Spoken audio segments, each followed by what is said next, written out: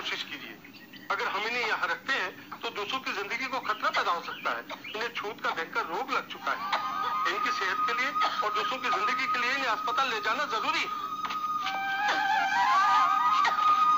अच्छा होगा आप इनसे अलग ही रहें, वरना आपकी ज़िंदगी को खतरा हो सकता है। ये ज़िंदगी भी तो इसी की है।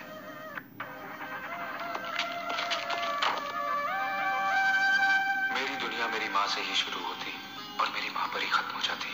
मेरी परवरिश के लिए वो अकेली औरत सारी दुनिया से लड़ती रही, मुझे दूध पिलाती रही और खुद जख्मों का जहर पीती रही। मेरी उम्र उसके चेहरे पर छुरियाँ बनती गई। वो मेरे लिए बड़ी बड़ी किताबें लाती, ताकि मैं पढ़ लिख कर बड़ा आदमी बन सकूँ।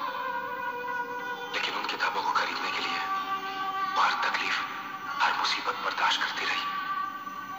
न जाने कब से बीमार थी। लेकिन उसने मुझे कभी पता नहीं चलने दिया। कहीं कोई ईश्वर था जिसे सब पता था जो ये सब देख रहा था फिर भी चुप था। धीरे धीरे जख्म नासूर बन गए और ईश्वर देखता रहा माँ?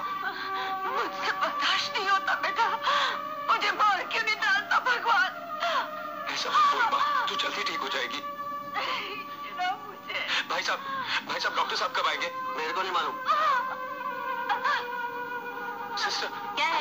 सिस्टर मेरी माँ बहुत तकलीफ़ में। इतना तकलीफ़ का ख्याल है तो सरकारी अस्पताल में क्यों लेकर आए?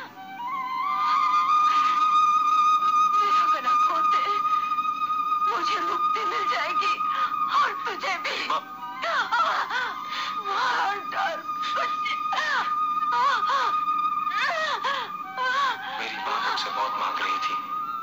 उसे मौत दे सकता था। ना आराम। उनको जो बीमारी लग चुकी है, उसका इलाज बहुत महँगा है। अगर अपनी माँ की ज़िंदगी चाहते हो तो वो इंजेक्शन ले आओ, जिससे तुम्हारी माँ के दर्द को छुटकारा मिल सके। इंजेक्शन मेरी माँ की जान बचा सकते थे, लेकिन इंजेक्शनों के लिए चाहिए था पैसा। बहुत सारा, और बहुत जल्द जो ना तो तुम्हारे बड़े पापा की नौकरी दे सकती थी, और ना ही मेरे आदर्श। इधर दर्द बर्दाश्त से बाहर होता जा रहा था, और जिस दिन दर्द बर्दाश्त की उस हद से गुजर गया, जिसे माँ कहते हैं, मेरा ईश्वर मर गया। और जब मेरा ईश्वर मर गया तो मुझ पर इंसान बनने की ज़िम्मेदारी भी नहीं रही। और मैंने अपने आदर्श, अपनी इंसानियत, अपना ईमान बेचकर तुम्हारे दुश्मनों से तुम्हारी जान का सौदा कर लिया।